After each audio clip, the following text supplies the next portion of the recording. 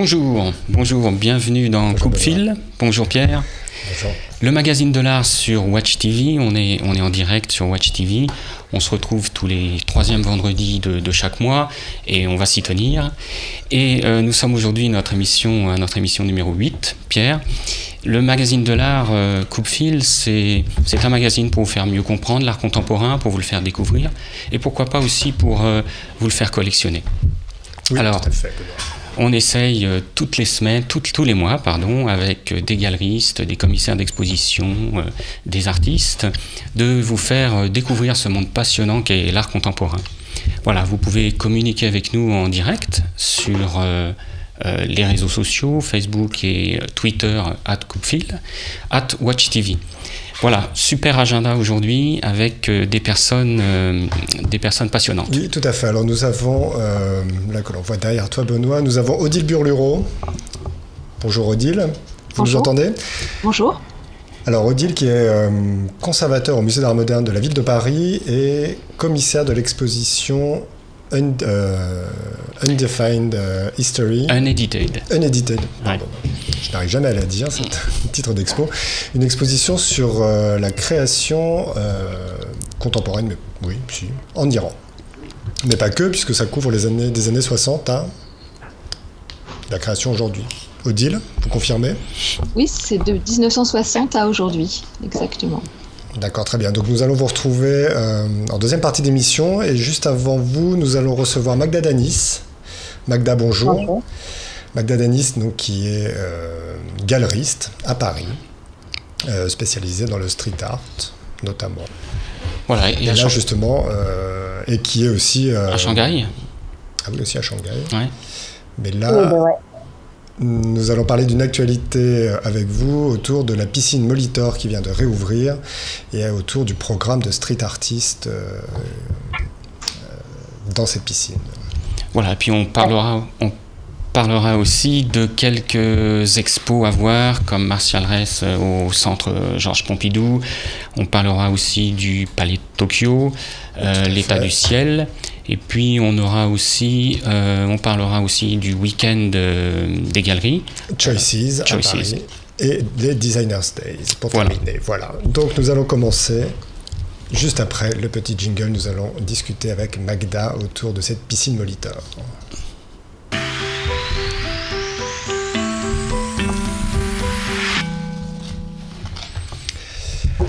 Alors, je vais faire un rapide petit euh, résumé euh, de la situation. La piscine Molitor vient de rouvrir cette semaine, euh, depuis lundi, après donc des travaux de reconstruction du bâtiment.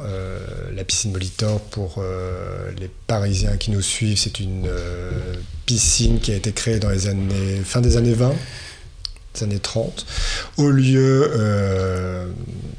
de la natation dans les années 30, très fréquentée par les Parisiens, et qui avait été laissée en abandon euh, pendant des années et des années, euh, jusqu'à ce que le groupe Colonie Capital euh, et le groupe Accor reprennent le lieu et du coup, ils viennent de rouvrir un hôtel euh, de luxe pour la partie euh, hôtellerie et euh, une piscine et club de sport très select. Et ils mm. ont eu la bonne idée de conserver un petit espace artistique, puisque la piscine dans les années 80 avait été squattée par différents street artistes.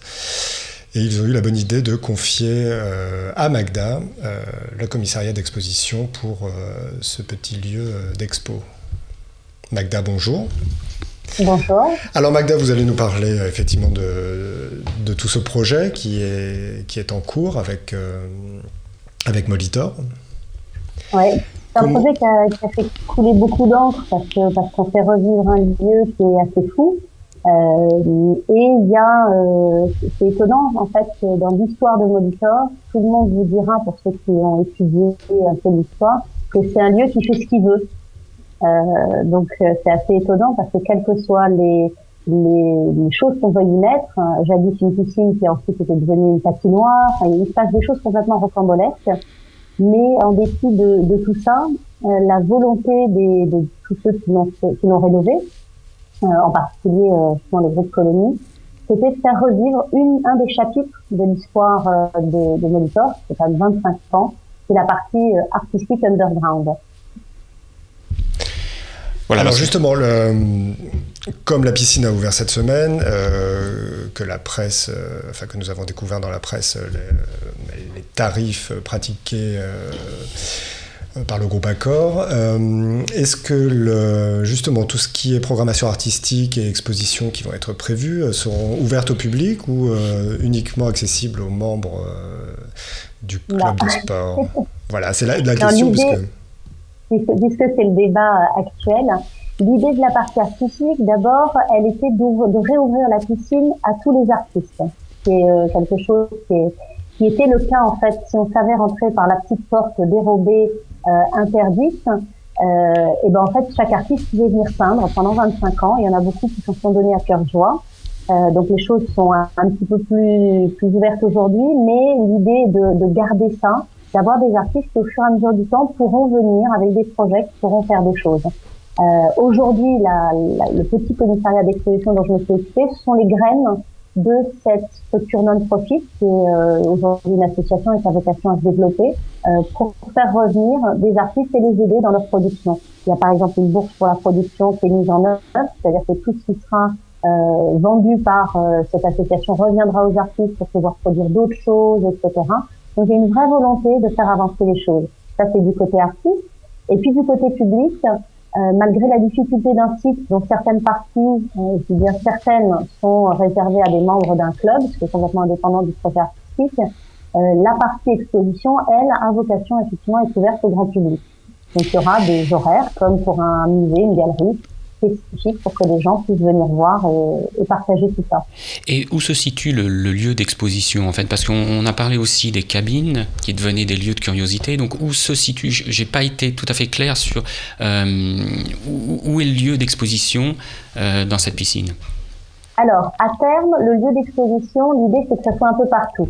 Aujourd'hui, euh, pendant le chantier, parce que vous imaginez bien, c'est un chantier pareil, on peut pas intervenir partout on ne nous a pas laissé. Euh, donc, on a investi une salle qui sont un peu les graines, je dirais, qui sont le début d'un arbre, les racines, qui devraient justement sortir un peu partout. Donc, aujourd'hui, si vous venez, il y a deux parties qui sont visitables. Une, quand on arrive dans le lobby de l'hôtel, on descend, il y a une salle dédiée qui est séparée de, des activités hôtelières, des activités de spa, des mhm. activités de piscine. Euh, J'imagine qu'on peut aussi descendre en maillot de bain, mais ça c'est autre chose. Euh, mais c'est vraiment indépendant. Euh, donc dans les pendant les horaires d'ouverture et euh, voir la salle qui est vraiment aujourd'hui est un, un, tout début de ce que, que le, le, groupe a vocation à faire avec le temps qui effectivement ira jusqu'à investir des cabines euh, qui étaient les cabines originales des années 30 qui aujourd'hui sont trop petites pour être utilisées comme des cabines vestiaires donc elles ont, ils ont trouvé la bonne idée au lieu de les condamner de les utiliser pour euh, des activités artistiques. Et alors, comment s'est monté ce projet euh, autour des artistes, justement? Comment euh, s'est fait les créations euh, Alors, on va peut-être en voir quelques-unes. Oui, on a quelques, on a quelques images hmm. d'installation in situ. L'idée, en fait, était de faire revivre quelque chose, et elle est venue de, de tout en haut. En fait, c'est Sébastien Bazin qui est l'initiateur de, de, de, tout le projet immobilier, c'est ça son métier plutôt euh, est venu me voir un jour en disant bah, j'ai quand même un pincement au cœur parce que euh, on, on, fait partir quelque chose qui était moyennement connu des Parisiens, cette, cette partie graffiti. Tout le monde connaissait la piscine, mais la partie graffiti, personne n'avait vraiment accès à part justement les artistes. Disais qu'est-ce qu'on peut faire? Euh, dis bah, pas grand-chose, vous avez déjà euh, tout détruit et, et, et, commencé à construire euh, euh, votre site immobilier. néanmoins, on pourrait rendre hommage à ce passé euh, par le biais d'abord de petites graines dont je parlais là, une petite exposition, et puis ensuite en en faisant aussi un endroit où les artistes pourront revenir. Euh, alors de façon moins underground qu'à l'époque, euh, le, le, site est différent aujourd'hui, mais quand même en essayant d'avoir euh, toujours ce lien, ce, cet hommage en fait à, à, ce qui pour moi est aussi important que la période, je dirais, balnéaire du site. et quelque part aussi de d'en garder euh, un peu comme quand on veille sur euh, un patrimoine, c'est pas que le patrimoine bâti, c'est le patrimoine intellectuel. Donc il y a euh, tout un travail qui va être fait, qui a commencé, mais très discrètement en fait. Le, le groupe Colonie n'en parle pas encore, mais de essayer de sauvegarder les photographies qui ont été faites par des particuliers, euh, les petits films qui ont été faits par les des amateurs, et d'essayer de garder tout ça pas du tout au sein du groupe Colonie, justement, pas du tout au sein de groupes euh, commerciaux et, affiliés, mais au contraire au sein d'une structure non-profit. Alors là, on vient de voir euh, Villeglé qui était intervenu sur un des murs. Là, euh, on a vu Futura tout à l'heure. Oui. Futura, Nunca qui est venu du Brésil. tout à fait. Euh, voilà, Nunca qui intervient. Euh, donc les artistes se sont prêtés au jeu et, et, là on le voit pas, mais ils étaient vraiment au milieu des bétonneuses et euh, c'est pas toujours facile, donc je les remercie, j'en profite pour euh, s'être prêté au jeu euh, et avoir euh, et avoir planté ces petites graines d'une volonté qui, j'espère, va grandir et grandir à travers le temps. Alors ça, ce sont des œuvres qui ont déjà été faites. Est-ce qu'il est prévu plus tard, enfin, à court ou moyen terme, ou à long terme, de continuer à faire justement cette euh, de laisser quelques murs à ces artistes pour qu'ils puissent euh, venir, euh, peut-être travailler sur, voilà, je sais pas, réintervenir sur, sur la fresque de Nunca pour, pour des collaborations, des choses comme ça. Je crois que c'est l'Atlas, non qui... Oui, l'Atlas, tout à fait. La volonté de Sébastien Bazin, qui aujourd'hui est, président d'accord, mais c'est lui qui avait mené l'appel d'offres qui a été remporté pour, pour réhabiliter ces sites, euh, c'est vraiment de petit à petit laisser euh, plus de murs, plus d'endroits euh, qui soient un peu fous aux artistes. Donc ça prendra le temps qu'il faut parce que c'est pas facile en fonction des enjeux des uns et des autres et par exemple des autorisations, de ce qu'on peut faire. Il faut pas oublier que c'est un bâtiment qui a été rénové sous contrôle des bâtiments de France. Euh, mais petit à petit, euh, si tout le monde reste positif sur le projet, euh, c'est effectivement l'idée, euh, dès depuis le début, euh, donc il y a un an, on est venu chercher pour ça, c'est vraiment que ça s'étende et qu'on ait, on est des œuvres qui fleurissent sur tout le site. Un peu comme si une graffiti reprenait ses droits. Non, c'est, en effet, c'est, très bien. Et puis ça, ça rappelle vraiment ces, ces 25 années de, street art dans, cette piscine. Donc je trouve que c'est un, rappel assez, assez sympa au, passé aussi de, Molitor qui est un, emblème art déco euh, des années 30. Donc, euh, c'est bien. Je pense qu'aussi, j'imagine qu'ils vous ont choisi parce que votre galerie, vos deux galeries, Paris et Shanghai, sont dans ce, dans ce domaine du street art depuis très longtemps. Vous avez été euh, tout au début de, de, de, ce mouvement. Donc, comment, comment c'est fait? Comment êtes-vous tombé sur ce projet? Comment êtes-vous arrivé sur ce projet? Je, Effectivement, en, en, tant que galeriste, ça fait partie, entre autres mouvements, euh, c'est un mouvement auquel je, je m'intéresse beaucoup. Euh, je considère que c'est un mouvement avant tout où il y a des artistes qui sont très bons. Euh, parmi énormément de créations, il y a des choses qui ont toujours attiré mon attention. Donc j'essaye d'en défendre la valeur artistique. Euh, et petit à petit, c'est vrai que j'essaye de favoriser beaucoup de, de, projets. Si je peux aider, je suis toujours là. Et c'est par le biais d'autres projets que euh, les gens qui, étaient sur le projet de Monitor sont venus me chercher en disant est-ce que tu peux nous essayer de nous présenter quelques artistes pour euh, essayer d'initier cette euh, cette chose. On va y aller lentement mais sûrement, mais si tu peux euh, voilà nous, introduire quelles sont les les personnes de bonne volonté, toujours partantes et, et, un peu représentatives de ce mouvement. Euh, voilà, ça serait une bonne chose.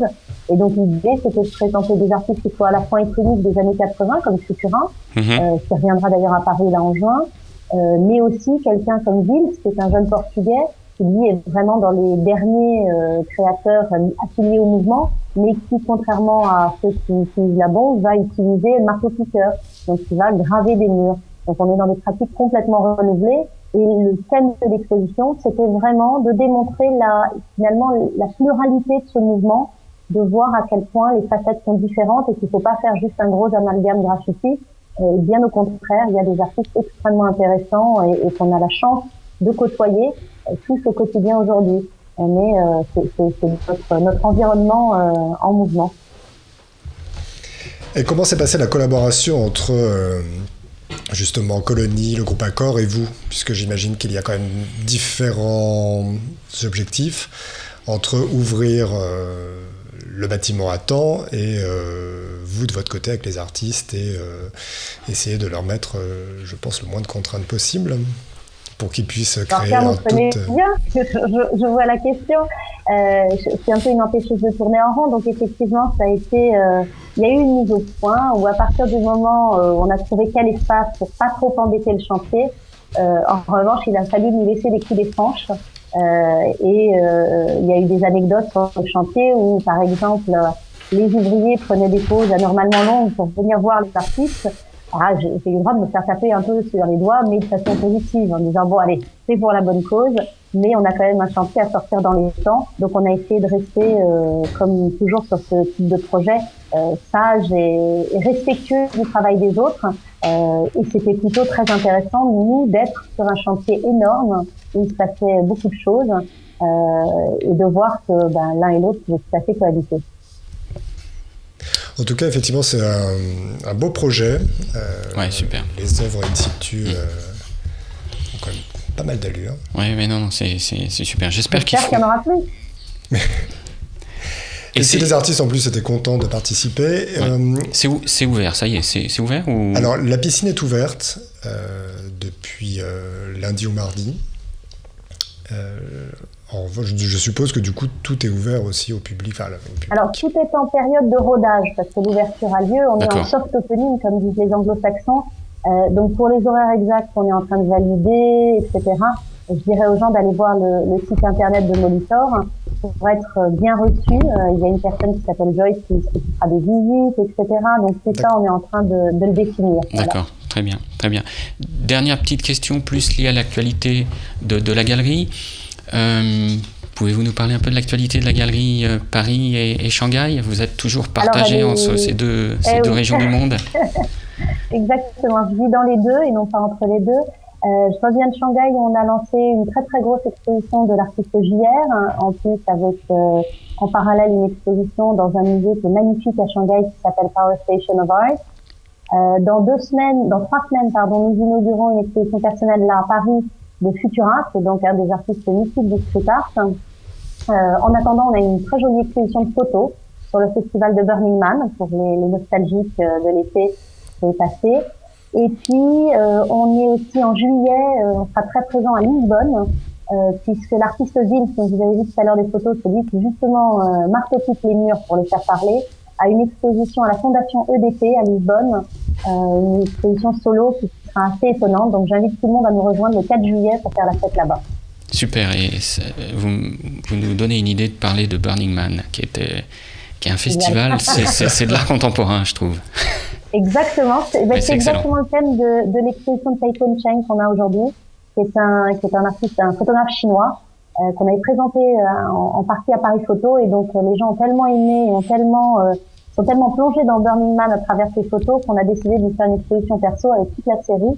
Euh, donc c'est un vrai, euh, un vrai songe euh, photographique et c'est assez plaisant de, de, déambuler dans ces photos. Eh bien donc Benoît, on ira à Burning Man la prochaine fois. Voilà exactement, festival un peu, un festival un peu Rendez-vous à la fin de l'été. Merci Magda pour cette Californie, idée. Je crois. merci à vous. Merci beaucoup. Et merci, pour cette interview. De votre temps. Alors, maintenant, nous allons passer aux deux, trois expos à, voir en ce, mois de, en ce mois de mai et de juin. À commencer, euh, après un petit jingle, à commencer par euh, l'exposition au Centre Georges Pompidou de Martial Ress.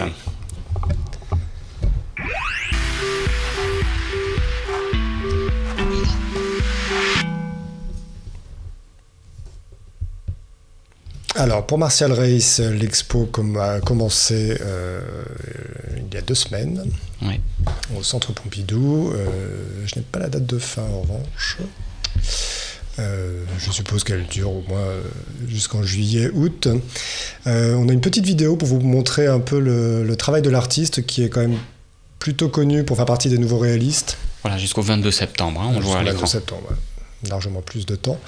Euh, connu pour être euh, faire partie des nouveaux réalistes, donc qui est l'équivalent des artistes euh, pop art.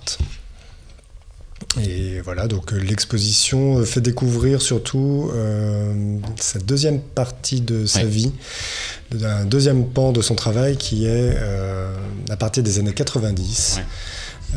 même les années 80, il avait commencé sur de la peinture. Voilà, en effet. Donc c'est ce que je te disais. Hein. Je, je, connaissais bien les œuvres des années 60, donc très pop art, le, le, pop art français, mais je connaissais beaucoup moins les années 80 et les années 2000, où il y a vraiment de la peinture, de la réinterprétation historique, une période beaucoup moins connue, je trouve beaucoup moins connu et on se dit peut-être que c'est pas un mal. Euh, franchement, pour être très honnête, moi la deuxième partie de l'exposition Marcel Reiss m'a vraiment beaucoup déplu. Euh, j'ai trouvé ça. Euh, j'ai pas du tout été emballé par sa mature. C'était quelque chose d'assez étonnant parce que voilà, on est sur euh, effectivement de la réinterprétation, comme tu le disais, mais où finalement euh, l'artiste se veut très second degré pour euh, certains, certaines reprises, et en fait on ne voit pas trop bien où est le second degré. ce qui en résulte, c'est cette sensation assez désagréable de voir de la mauvaise peinture. La presse n'est pas complètement unanime sur le sujet. Hmm. Effectivement, il y a les inconditionnels de Marcel Reiss et notamment de cette de cette époque. Alors il faut savoir que par exemple Marcel Reiss est très très collectionné par Pinault et notamment sur cette peinture. Voilà, donc il y a évidemment euh, un enjeu économique assez important euh, et effectivement des journalistes plutôt euh, ralliés à cette cause. Moi je trouve qu'effectivement là, autant c'était intéressant, très second degré, plutôt fin sur les années pop art et nouveau réaliste. Voilà, on est un peu moins, c'est un peu moins intéressant sur la deuxième partie. Alors je dirais que le, positif de l'exposition, c'est qu'elle fait découvrir l'évolution quand même de, de l'artiste, hein, qui, qui, pour moi n'était pas euh, si connu que ça. Et puis, euh, bon, il y a une dernière euh, toile des années 2010, je pense, qui fait 10 mètres de long, 3 mètres de haut, bon, qui est, qui, est, quand même intéressante par, par sa taille, par, par la réinterprétation. Euh, en effet, c'est pas, hum, c'est surprenant, c'est surprenant. C'est assez surprenant. Mais c'est vrai que c'est la mise, euh, voilà, pour le coup, c'est euh, mettre en avant un artiste contemporain qui, effectivement, est de l'époque du pop art, donc de Warhol, Rauschenberg, tous ces artistes américains qui, eux, en revanche, crèvent les scores, en vente publique notamment, là où, effectivement, les Français ont un peu plus de mal. Allez-y pour vous faire une idée, puisque euh, l'expo jusqu'au 22 septembre. si vous avez l'occasion euh, d'y aller, allez-y. Deuxième expo à, euh, à voir, c'est au Palais de Tokyo. Hein. L'état du ciel, qui c'est une série d'expositions en fait. Il y a un programme qui dure à partir du 23 juin jusqu'en septembre. Et on voulait vous souligner une, une expo dans, dans l'état du ciel, hein, dans, cette, euh, dans ce programme d'exposition du Palais de Tokyo qui s'intitule La flamme éternelle de Thomas Hirschon. Voilà. Tout à fait, qui est un artiste suisse. Alors là, c'est très. Là, on a une petite vidéo aussi. Euh, on va vous laisser la découvrir puisque. Euh, voilà, c'est vraiment une énorme installation qui court jusqu'au jusqu'au 23 juin. 24 avril, 23 juin.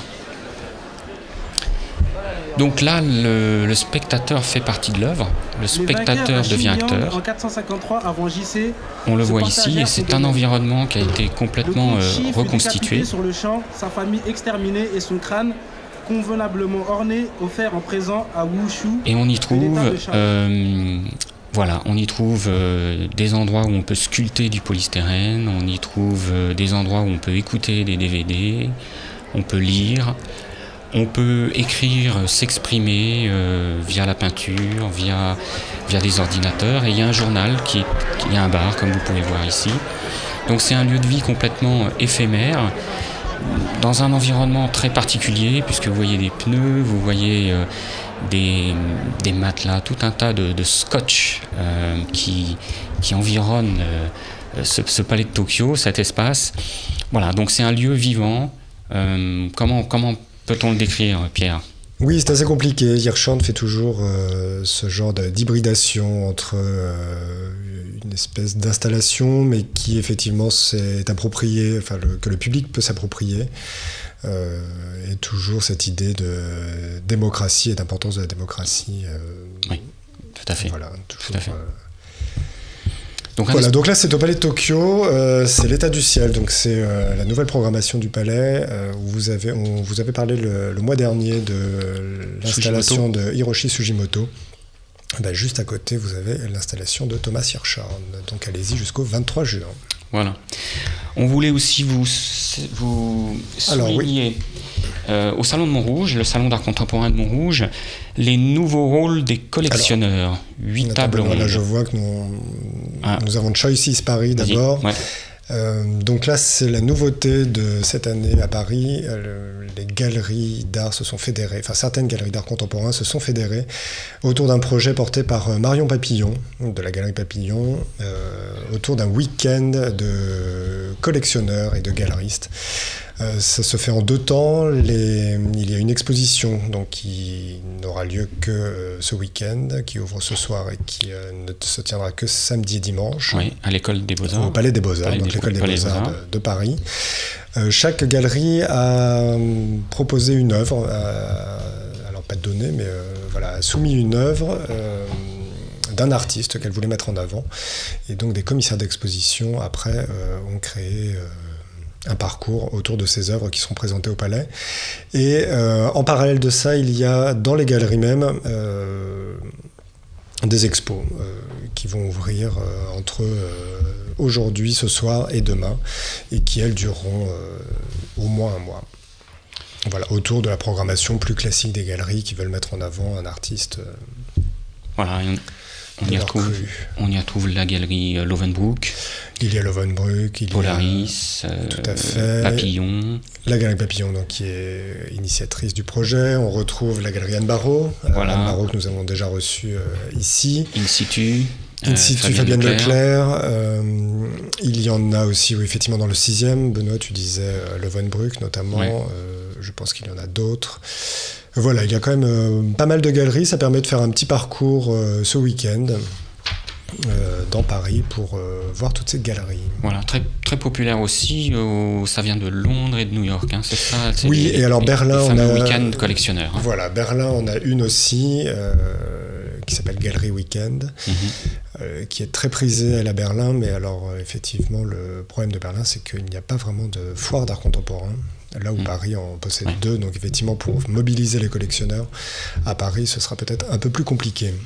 Voilà, et dernier petit point, pardon Pierre. Oui, non, non, j'allais rebondir justement sur, euh, en parlant de collectionneurs, ce week-end au Salon de Montrouge. Donc le dernier point, en effet, au Salon de Montrouge, euh, huit tables rondes organisées par la DIAF, qui est l'association euh, de promotion de l'art français à l'international. Diffusion, hein, de diffusion à l'international, voilà. Ça. Et donc dans le cadre du 59e Salon de Montrouge, huit tables rondes organisées euh, à propos du rôle des nouveaux collectionneurs, les nouveaux rôles de collectionneurs. Voilà. Donc euh, très intéressant, plusieurs sujets, hein, mais vous avez l'engagement des collectionneurs, vous avez vivre avec sa collection, la montrer, partager sa passion, un club d'amateurs pour apprendre à, devenir collectionneur. vous avez aussi des couples collectionneurs comme les Françaises euh, qui ont ouvert une fondation à Senlis. Euh, donc euh, voilà, une journée, huit tables rondes sur le sujet des collectionneurs au Salon de Montrouge. Et un joli programme, effectivement. Un joli programme, oui. Voilà, donc pour, voilà pour l'agenda. après la pause, nous allons nous retrouver pour parler de cette exposition sur l'Iran contemporain et la création contemporaine en Iran. Unedited History. Unedited History.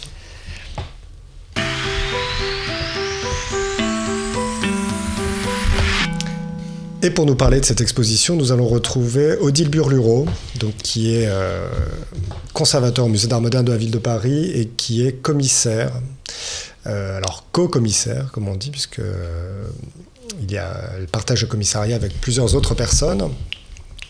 Odile, bonjour. Enfin, rebonjour plutôt. Voilà, donc l'exposition s'appelle, j'ose pas le redire le... Unedited, Unedited History. Merci. Euh, et ce qui, ce, qui, ce qui veut dire, hein, si je l'ai bien compris, euh, comment dire, il n'y a pas de script, il n'y a pas de...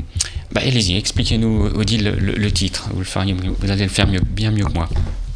Pardon. Alors le titre euh, emprunte son, son, son origine au, monde du cinéma parce que un des artistes de l'exposition, Kamran Sherdel, que nous avions rencontré à Téhéran lors de notre mission de repérage, nous avait parlé de roches qu'il avait conservées et jamais pu monter.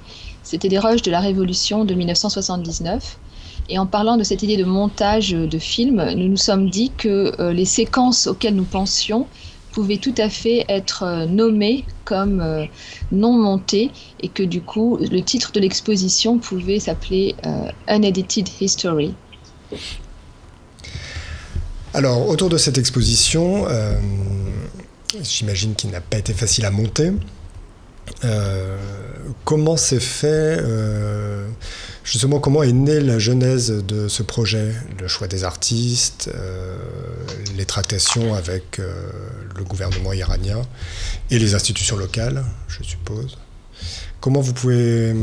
Est-ce que vous pouvez nous parler un peu de, tout ça, de cette genèse de, cette exposition? L'origine du projet, c'est une artiste, Narmin Sadeg, qui est, exposée dans le parcours. Elle a pris conscience euh, au début des années 2010 qu'on parlait surtout de l'art iranien à propos de ceux qui se vendaient dans les galeries à Dubaï. Et elle avait envie qu'une exposition puisse se monter et qu'on puisse y voir des artistes autres que ceux de Dubaï. Et donc progressivement, une équipe s'est constituée et cette équipe était euh, dirigée par Catherine David qui a sollicité le musée d'art moderne de la ville de Paris pour euh, présenter l'exposition. Alors, euh, l'origine ensuite euh, du travail et de la constitution de la liste des artistes, puisque c'est ce dont vous souhaitez parler, évidemment, ça ne se fait jamais en une seule fois. C'est d'abord beaucoup de recherches documentaires, beaucoup de rencontres avec des acteurs sur place, puisque nous nous sommes rendus à Téhéran. Et c'est aussi euh, une articulation qui se fait progressivement entre des images, bien sûr, mais aussi des discours, donc certains artistes avaient été retenus et finalement on ne les a pas gardés parce que ça ne correspondait pas suffisamment euh, au choix général de l'exposition. La difficulté majeure du montage de cette exposition, c'était évidemment de contourner l'embargo international qui se perpétue euh, autour de l'Iran et notamment les sanctions qui empêchent toute euh, négociation financière, puisque en Iran, euh, la France, en tout cas, ne peut pas avoir de, relations financières, c'est-à-dire qu'on ne peut pas payer quoi que ce soit en Iran, on ne peut pas non plus prendre une assurance, par exemple, pour les œuvres. Avec, avec une société française ou, internationale. Il a donc fallu solliciter des, compagnies d'assurance totalement euh, extra-occidentales. Alors l'exposition est plutôt chronologique, hein, chronologique. Euh, on, découvre bien dans cette exposition euh, ce que vit le pays alors qu'on est en train de parcourir, parcourir les œuvres. Donc c'est très intéressant de voir à quel point la, création, en particulier dans des périodes difficiles pour, pour le pays, est, forte. Peut-être on peut, on peut parler aussi un petit peu des, des artistes en voyant les, les, images. Alors moi je voulais juste... Oui, alors... Euh, pardon. Non, non, allez-y, je vous écoute. Ce que je voulais dire, c'est qu'effectivement le parcours est chronologique. Il commence euh, à partir des années 1960 mhm. pour bien relier euh, les différents événements qui se sont produits au niveau politique et qui ont fait que le pays est aujourd'hui dans une situation euh, assez particulière et en même temps euh, avec beaucoup de possibilités qui, qui peuvent se, se, développer. Et, et c'est aussi le, la vocation de cette exposition de, de permettre d'imaginer des, des, des relations et des collaborations futures. Euh, hier soir, nous avions un débat au, Musée d'Art moderne avec certains des artistes et en parlant avec eux, on se rendait compte à quel point pour eux cette exposition ouvre des perspectives, ouvre des fenêtres, même peut-être des portes et abat des frontières. D'abord à propos de leur propre histoire, mais aussi euh, surtout pour les relations entre l'Iran et, et la France. Toutefois, je tiens à préciser que cette exposition s'est faite sans euh, les relations entre l'Iran et la France. C'est vraiment une, exposition qui s'est construite euh, avec des collaborations, avec certains musées de, Téhéran par exemple, avec des artistes, mais ce n'est pas du tout une exposition qui serait euh, chapeautée ou, conduite par des relations internationales. Et alors justement, pour tout ce qui est pièces qu'on va dire historiques, qui reviennent justement, enfin de toutes les pièces des années 60, qui reviennent aussi sur la guerre Iran-Irak, Comment euh, comment s'est fait ce choix? Là, c'est du coup, ce sont les partenariats avec les, musées iraniens qui ont fourni les œuvres, ou il existe des collections euh, occidentales ou européennes qui possèdent euh, de telles œuvres? Alors bien sûr, il y a des collectionneurs particuliers. par exemple, récemment, il y a eu une exposition à New York à la Asia Society qui montrait des, des œuvres jusqu'à 1979 et ils n'ont rien emprunté en Iran. Donc c'est possible de le faire. Nous, notre démarche était tout à fait autre. Nous souhaitions vraiment associer les collections et les collections publiques d'Iran. et donc nous avons entamé euh, une, discussion et puis une collaboration avec euh, le musée d'art contemporain de Téhéran. C'est un musée qui a été ouvert en 1977 qui avait été initié par l'impératrice à l'époque, qui avait euh, une collection déjà très importante. Et la particularité de ce musée, c'est qu'il est, euh, à la fois détenteur d'une collection d'art iranien et en même temps d'art occidental. Ils ont 2000 œuvres iraniennes, 2000 œuvres occidentales. Et les œuvres iraniennes, pour certaines, ont été autant censurées que les œuvres occidentales, c'est-à-dire qu'elles sont dans les réserves depuis 35 ans et que lorsque nous avons demandé à les voir et qu'ensuite nous avons sollicité le prêt de ces œuvres, eh bien, nous avons initié un, nouveau partenariat puisque c'était la première fois que ces œuvres venaient en France. Et même elles sortaient du pays. Et justement, vous parlez de, censure. Euh, en Iran, comment euh, euh, vous vous êtes rendu sur place Comment vit la scène artistique actuellement en Iran? Est-ce qu'il y en a une déjà sur, sur in situ ou est-ce que euh, quand on parle de scène iranienne, on parle forcément de diaspora euh, d'artistes iraniens? Il y a vraiment une scène artistique à Téhéran. Il y a un certain nombre de galeries très actives. Il y a aussi des collectionneurs. Peut-être ce qui manque, c'est plutôt le regard critique euh, le, musée qui serait euh, le lieu où on montre des œuvres, où on les teste. Ça, ça, n'est pas vraiment encore en place. Mais moi, ce qui m'a beaucoup frappé lorsque j'étais à Téhéran, tous les vendredis soirs, il y a des vernissages. Et on voit des très jeunes, des lycéens, qui viennent voir dans les galeries les œuvres, qui discutent, qui s'intéressent.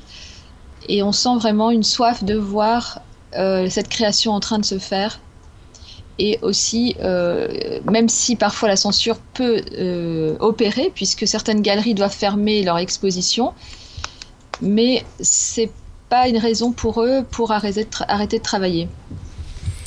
Et donc une, exposition comme celle-ci se prépare sur, sur combien de temps à peu près? C'est Alors en fait, on a eu un temps de travail assez court puisqu'on attendait les élections présidentielles Euh, donc Monsieur Rouhani a été élu euh, au début de l'été, il a pris ses fonctions au mois d'août.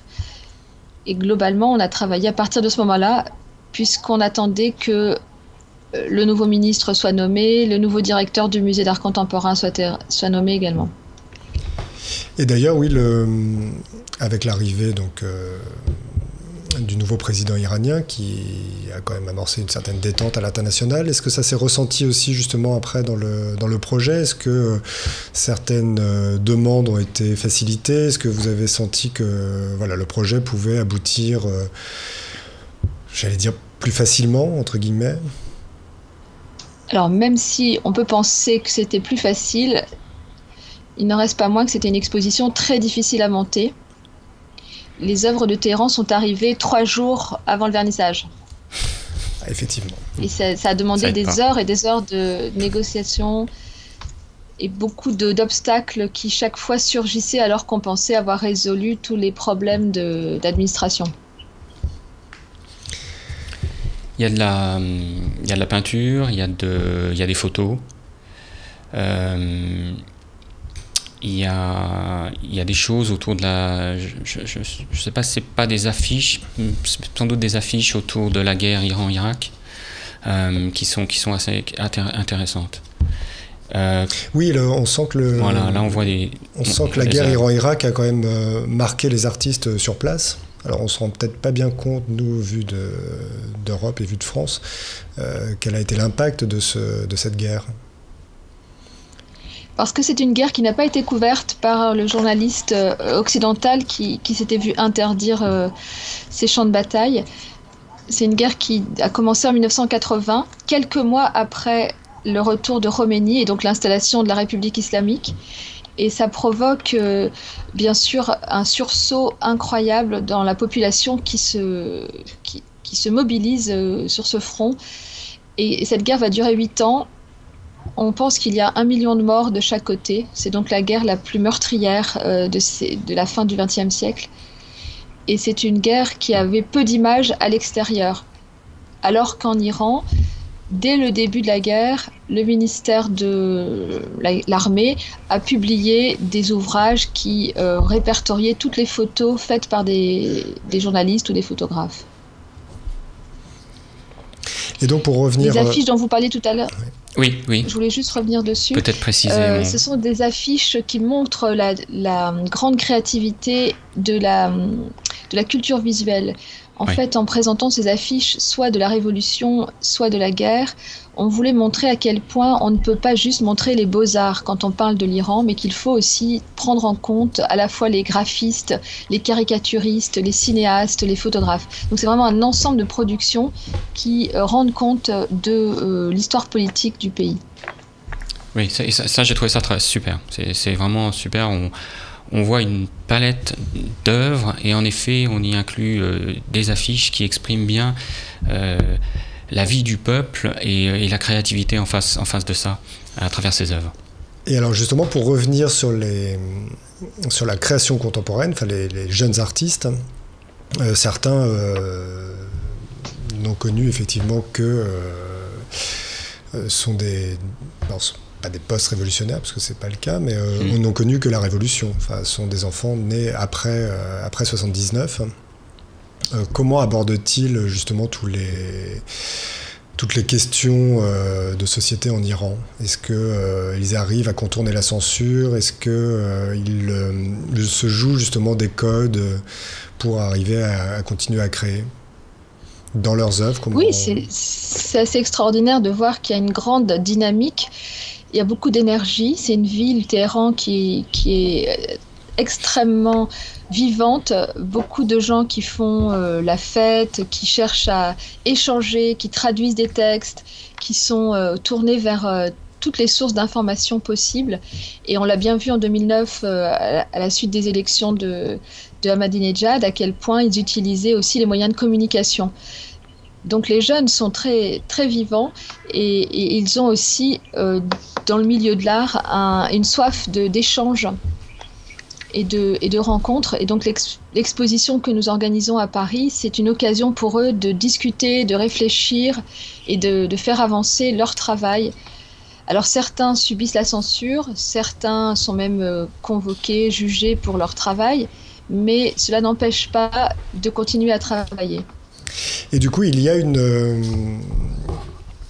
comment, une perméabilité entre euh, le monde artistique euh, iranien et l'international il y a des passerelles qui se font hors institution. Est-ce que les galeries, puisque certaines, vous parliez de, nombreuses galeries, on en voit quand même finalement très peu dans les foires internationales, à part peut-être effectivement sur Art Dubaï ou les foires du, du Moyen-Orient. Euh, mais est-ce que justement les Iraniens, euh, soit les galeristes, soit les artistes, euh, sont demandeurs de, s'ouvrir sur, sur l'international pour la diffusion de leurs œuvres Ils sont demandeurs, mais parfois les conditions exigées sont, sont, trop, trop importantes pour, pour suivre. Et donc l'occasion d'une exposition, c'est pour eux le moyen de tester euh, comment montrer leur travail, comment le, produire en grand format par exemple, et, donc de, pouvoir euh, ressentir les réactions du public. Et les artistes qui sont venus à l'occasion de l'exposition ont eu l'occasion aussi de, visiter d'autres expositions à Paris et donc de se confronter à tout ce qui se produit, tout ce qui se fait. Euh, la dynamique de, des musées et des galeries de Paris euh, les a vraiment euh, énormément séduits. Et le musée a été justement producteur de certaines œuvres Ou vous avez apporté un soutien logistique et, sur ces œuvres, sur certaines? Oui, certaines œuvres ont été produites par le musée. D'accord. Alors, il y a, euh, dans le projet, il y a Catherine David. Si je dis pas de bêtises, oui. Je confonds toujours Catherine David et Catherine Grenier, mais non, c'est Catherine David. Catherine David. Euh, connue pour euh, justement sa passion pour, pour les scènes proches et, Moyen-Orient. Est-ce que le musée, du coup, compte aussi développer sa collection vers cette, cette zone géographique? Par des achats ou par... Euh, voilà. Alors pour l'instant, ça ne, ça ne s'est pas encore produit, mais nous avons aussi des œuvres d'Asie, donc il est tout à fait plausible que nous intégrions à la collection des œuvres du Proche-Orient.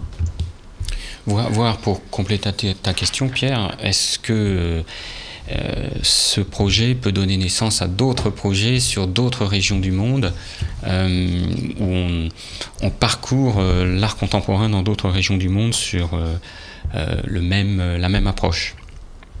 Est-ce que vous avez d'autres projets dans les cartons sur d'autres régions du monde?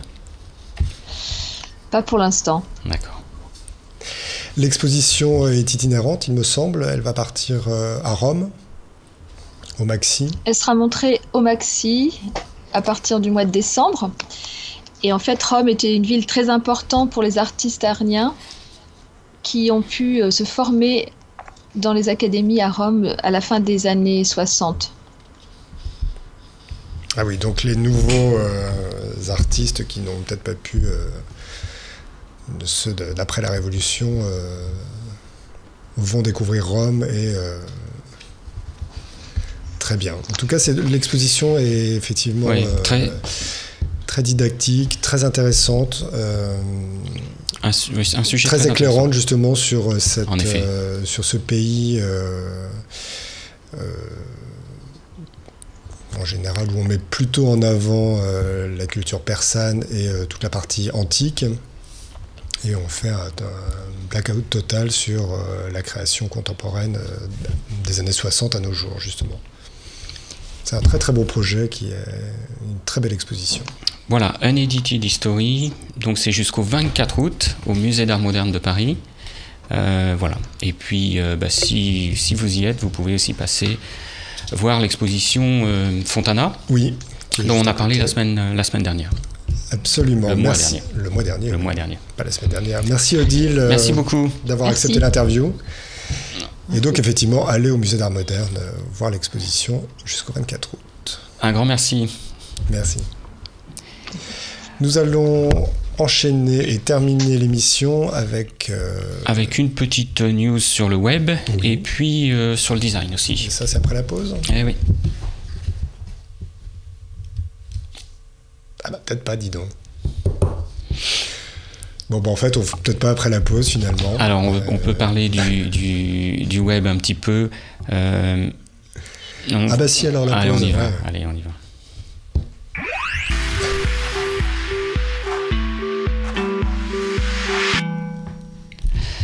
Alors, je voulais juste faire un petit clin d'œil, Pierre, à une. Euh, Fais donc. Voilà, un petit site qui s'appelle euh, et qui devient important, qui s'appelle Artips, artips ARTIPS. Euh, et c'est un petit site qui en fait est un abonnement à une newsletter et qui vous donne tous les mois, tous les deux jours, tous les, toutes les semaines, vous choisissez la fréquence de la newsletter et vous recevez une anecdote sur l'histoire de l'art ou une anecdote qui ah, essaye de, vous expliquer euh, l'histoire de l'art à travers euh, un point de vue plutôt, plutôt sympa, plutôt facile à lire.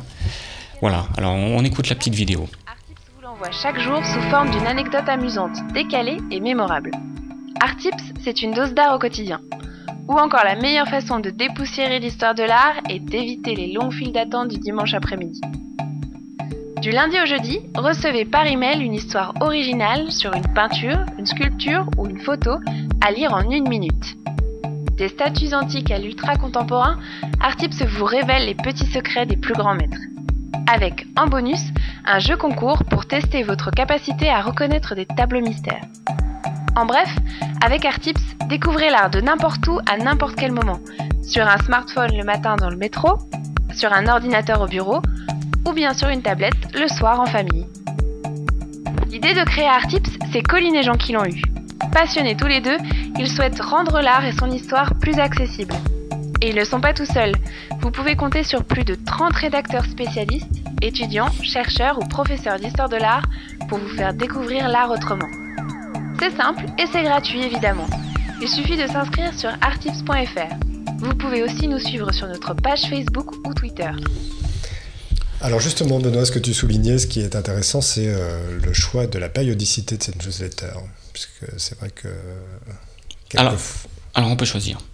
C'est bien. Voilà, on peut choisir parce qu'en effet, ça peut devenir euh, un peu trop fréquent assez rapidement, mais on, peut complètement choisir sa fréquence. Et puis surtout, euh, ce qui est intéressant, c'est qu'ils essayent un peu de, de simplifier euh, l'histoire de l'art à travers une, une approche comme des anecdotes. Euh, sur une œuvre bien particulière ou sur euh, un événement particulier de l'histoire de l'art. Voilà, intéressant, c'est juste une newsletter. Euh, sa fondatrice, dont je n'ai plus le nom en tête, a fait la une de Challenge. C'est une des startups françaises qui, qui montre, qui monte aujourd'hui. C'est dans l'art contemporain, c'est dans l'art tout court. Donc j'ai trouvé ça intéressant de, de souligner. voilà, artips.fr.